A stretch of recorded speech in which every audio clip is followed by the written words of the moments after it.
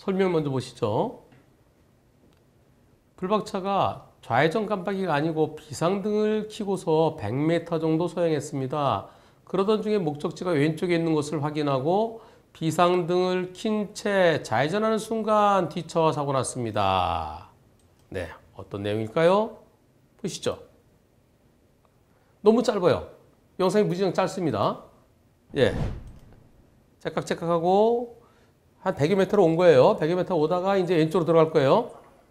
이때 째깍째깍 하면서 어디지?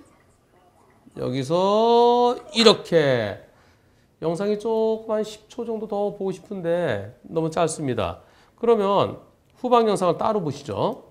후방 영상. 째깍째깍 이렇게 어느 쪽이 가해 차량입니까? 비상등 째깍 째깍 째깍 키면서 서양을 한 100m 오다가 그림으로 설명해 주셨는데요. 내가 비상등을 켜고 100m 서행했다. 상대차가 빵 하지 않고 나를 추월하다가 내가 좌회전 들어가다가 사고 났다. 어느 쪽이 더 잘못했습니까?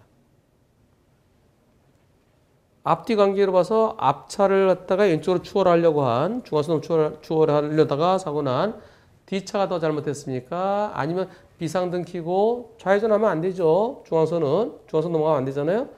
근데 맞은편 차가 오니까 좌회전하는데 뒤차가 빵 때렸다.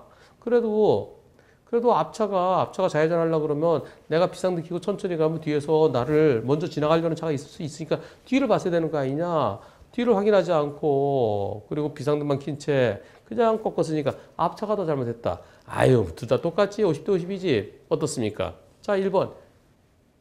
왼쪽으로 추월해 가려고 했, 추월해 가던 뒤차가 잘못이다가 1번. 아니다. 앞차가 잘못이다가 2번. 둘 다 똑같다 3번. 투표해 보겠습니다.